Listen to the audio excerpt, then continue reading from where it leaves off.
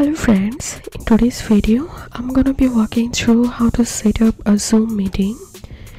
But before getting started this video make sure to subscribe how to one minute. So open your zoom app. So here you will get four options one is start an instant meeting another is to join a meeting and another is uh, schedule a meeting. Also you can share screen by clicking on this option and now let's see how to schedule a meeting. So i'm going to clicking on this option here. And i'm going to giving the topic name.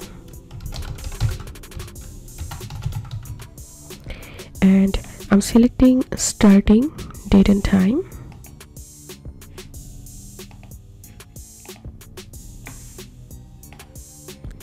And selecting duration. And you can select your meeting id generate automatically or you can select personal meeting id and you can change the password here.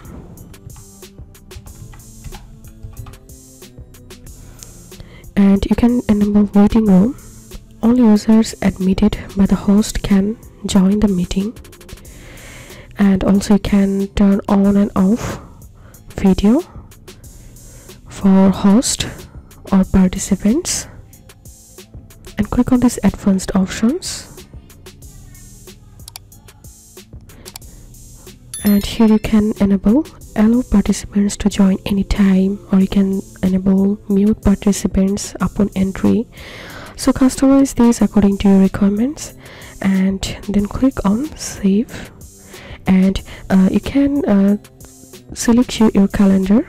You can select here your calendar outlook google calendar. So i'm selecting here google calendar and clicking on save.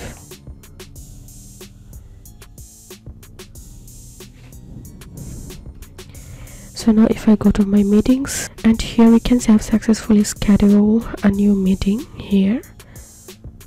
So this how we can set up a meeting on zoom if you think to see more zoom videos please check the links in descriptions. If this video helped you give a thumbs up and please consider subscribe to how to one minute. Thank you for watching